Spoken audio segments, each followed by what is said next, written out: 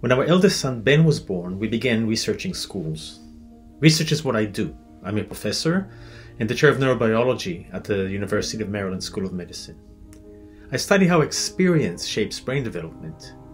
My reasoning was that a successful learning environment should be informed by what we know about brain development.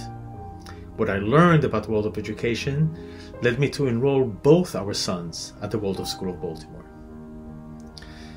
What struck me on my first visit to the school is that the children were playing in the class and outdoors in all weather. At the children's garden and throughout 8th grade, I saw children engaged in structured play, gently guided by their teachers, and in play led by their own imagination.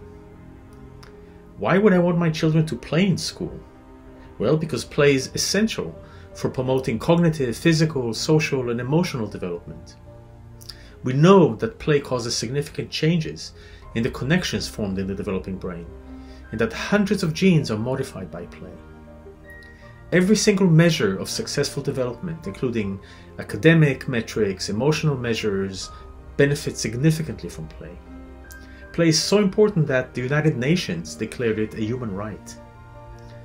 All of education is stealthy. You think you're playing, but in fact you are learning through play. Most everything is taught through action and experience.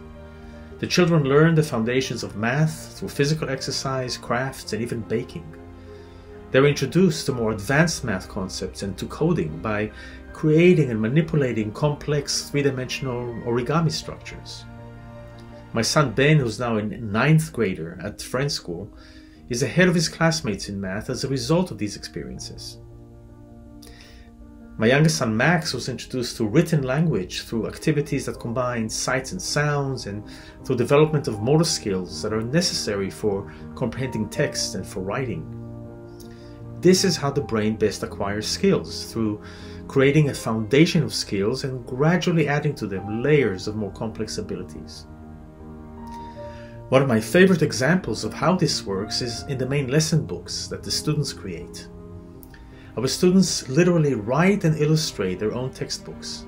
This makes total sense since we know that active learning is much more effective than passive learning. I even encourage my medical students, many of whom went from K to college with their nose stuck to a passive digital device, to take handwritten notes using their own words and to illustrate these notes with drawings of parts of the brain they're studying or with diagrams of biochemical reactions. They often find this immensely helpful. As a brain scientist, and more importantly, as a dad to two amazing boys who benefited from this school, I encourage you to learn more about Waldorf School of Baltimore. And I most certainly encourage you to support the mission of this gem of a school.